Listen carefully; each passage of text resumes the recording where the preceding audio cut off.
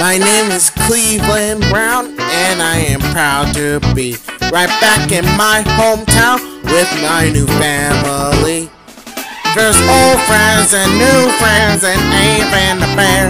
In good times and bad times, and two up to share. And so I found a place where everyone will know my happy mustache face. This is a Cleveland show.